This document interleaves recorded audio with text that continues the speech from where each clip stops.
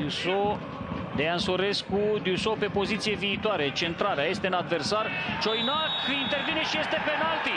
Penalti pentru Dinamo, Cioinac o intervenție întârziată, o neglijență în careu, fără ezitare, Andrei Chivulete indică punctul cu var, lovitură de pedeapsă, minutul 49 pentru elevii lui Mircea Rednic.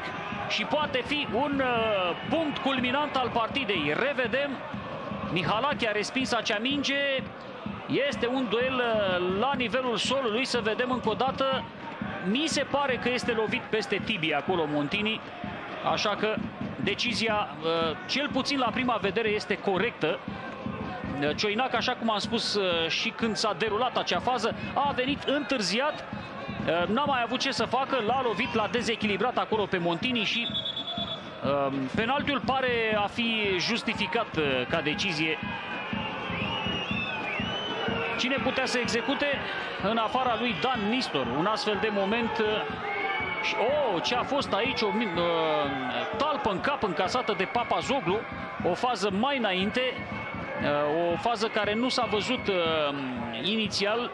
Însă camera de pe partea opusă ne-a relevat atacul dur și crampoanele care i-au scrijelit uh, scalpul lui uh, Papazoglu.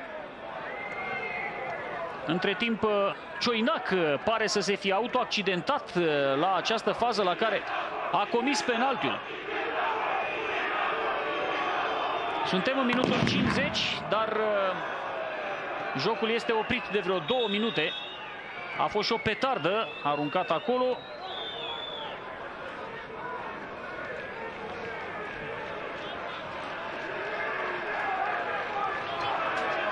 Evident, arbitrul este apostrofat uh, pentru această decizie, însă deocamdată până la părerea emisă de specialiști, eu înclin să cred că el a avut uh, dreptate.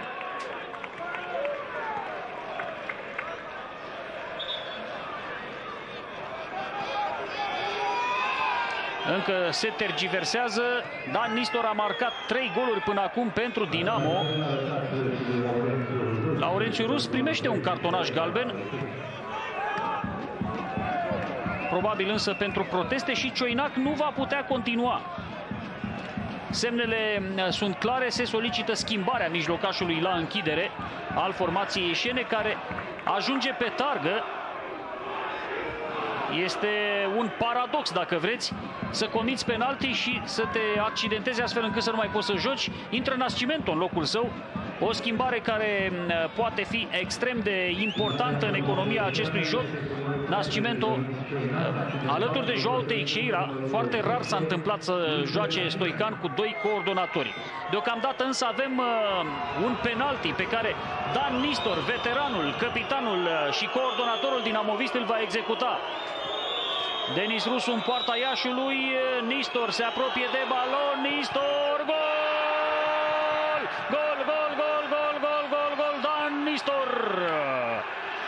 Pasatorul de serviciu trece la execuție și înscrie cu sânge rece din penalti. 1-0, galeria dinamovistă exultă. Am văzut și suporterii veniți din capitală, ori localnicii care țin cu Dinamo, uh, bucurându-se după această fază la care Dan Nistor își trece în cont al patrulea gol stagional pentru Dinamo. Revedem această situație. Montini avea mingea, avea controlul, a venit Cioinac, uh, a faultat și s-a uh, întâmplat ca tot el să aibă mai mult de suferit. E posibil acolo să fie și o fisură în cazul lui Cioinac. Șut pe centrul porții puternic.